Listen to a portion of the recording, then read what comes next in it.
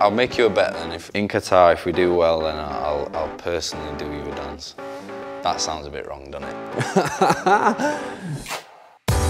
Hi, I'm John Stones, and this is Box to Box.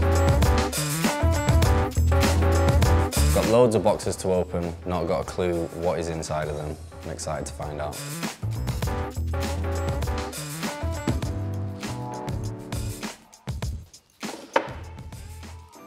It's not a bad start, is it? Toby Tyke. When I was a scholar um, at Barnsley, we were ball boying, so at half time we'd come in, we'd go into like the kit room because it's warm, and what's what's left in there? Obviously the Toby Tyke outfit, so we'd get dressed up in him and pretend to walk out like with the with the teams because the the tunnel is is right next to um, a kit room, so that kind of reminds me of Toby Tyke was dressing up in him. Was that your first appearance for Barnsley then?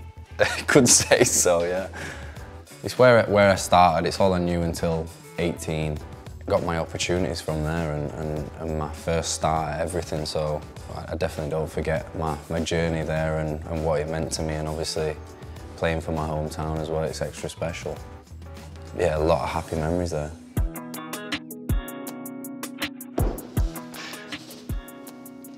Love it. What have we got here? I saw John Stones score at Rochdale. I'm going to leave that one there. What was it like, 17 years old, scoring for your hometown club? Yeah, it was an incredible feeling.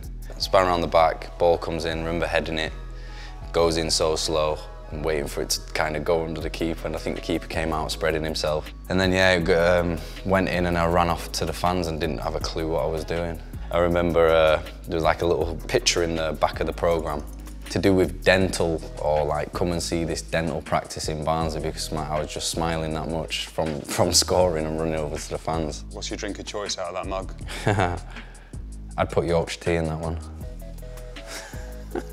no, I like it.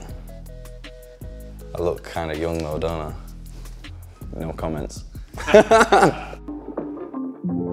trying to peek around there.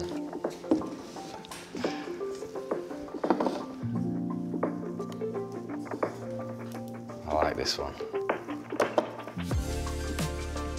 That was justice in a picture. Very special moment um, in, in a, such a high-pressured moment for uh, me and the, and the team. Uh, beating Colombia in the penalties after, well, I've said it before, and dirtiest team I've ever played. Horrible trying to spoil the game. I just remember them coming back from, from walking to the penalty spot. I think it was Yerry Mina. Every time he'd come in front, he'd, he'd uh, go to every player, look over at us, start shouting. Remember him kicking the penalty spot. So Eric scored the uh, sixth. I think I was seventh i in, in line. I'm so glad Eric scored because I wasn't ready to take that penalty. but yeah, that was, that was us turning back to them. Oh, you can see him there big, big H next to me. It was me and him that turned around and uh, kind of gave it to him in, in our own little way. And the thing that I've, my parents told me from growing up is you beat them with football. And, and that, that day, we, we literally did that. Yeah, I, love that picture, to be fair.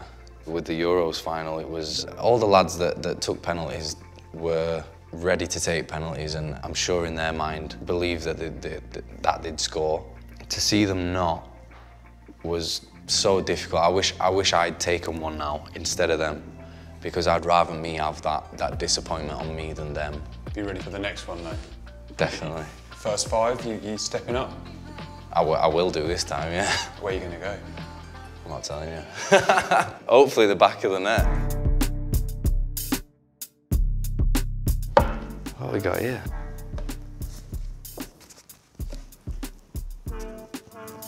Ah, I think I know where you're going with this one.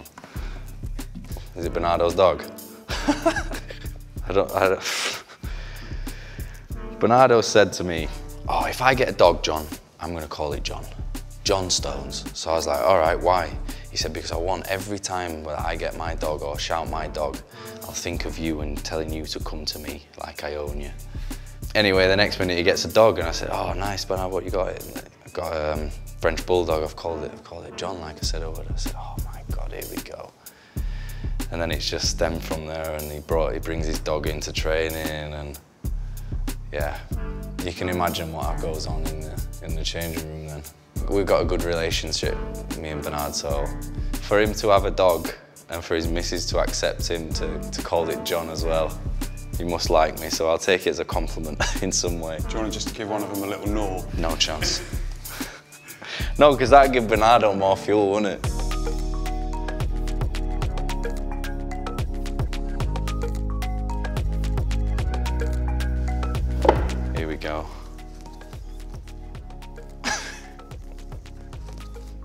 Think I was his second signing to, to City.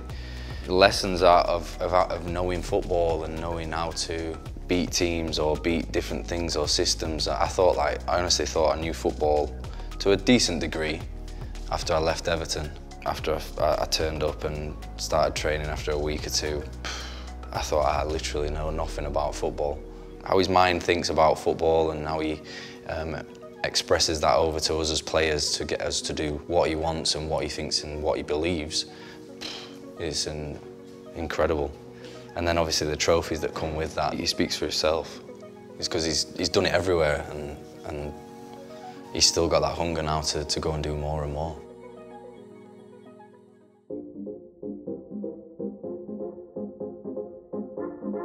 What would you like to be in the boxes? Nothing scary as for a start. Some chocolate or something nice, a little medal or something. What would you not want to be in there? Don't want an animal jumping out at me. I feel like he's done me a bit with this. I'll go with this one. All right. I don't know how I'm gonna get it out. I can see why I was being careful now. Good cake, innit? Bit of chocolate on top. Look at the sides of it. Can't eat that though now. I'd like to, but it's got special occasions on it. I feel like Brucey Bogtrotter now, do you know? I can smell it already from here, actually. It's a strong one. Big Bruce.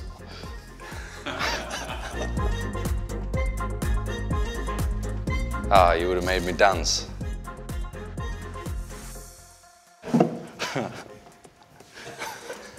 Moving on. We're not having any moves? Nah, I ain't got any moves, have I? I think there's online video There's footage. proving that you've got. Do you know how good technology is nowadays? I'll make you a bet then. If in Qatar, if we do well, then I'll I'll personally do you a dance. That sounds a bit wrong, doesn't it? So What dance are you going to do? I'll do the shuffle. I was gonna say I'd choreograph something, but it's not me. That is it. I hope you enjoyed playing box to box with me today. Like, comment, and subscribe.